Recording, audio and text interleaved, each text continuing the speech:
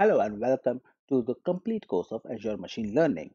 Here, the first step would be to create a scoring or a prediction script. So let's get started.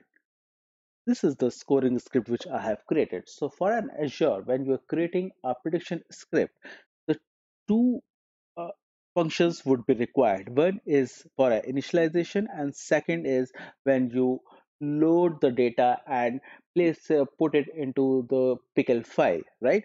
So uh, you will first of all you will uh, just uh, import all the libraries required. Libraries we will require the random forest classifier the metrics it would and the pandas joblib and the few of the azure sdk libraries wherein the model uh, this workspace would not be required so we can delete it later on and this json file. So what it does it these two function does it. The first function whenever we are trying to call this service it would be initializing it automatically right? So uh, why i have given this model? So once the model is being loaded from the pickle file this is the pickle file which has been created so why I have given this that os.path os get.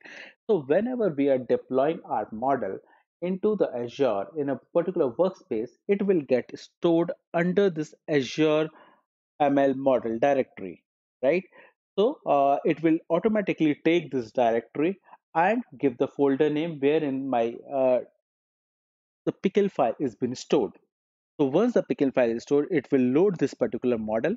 Once the model is being loaded and when we'll pass the data inside it, it will change because the data would be into a JSON format and this JSON format would be converted data uh, into the list and this list would be passed to the model for a prediction and then uh, it will return it to the service or uh, to the rest point wherever we are deployed. So this is how we would create a scoring script, right?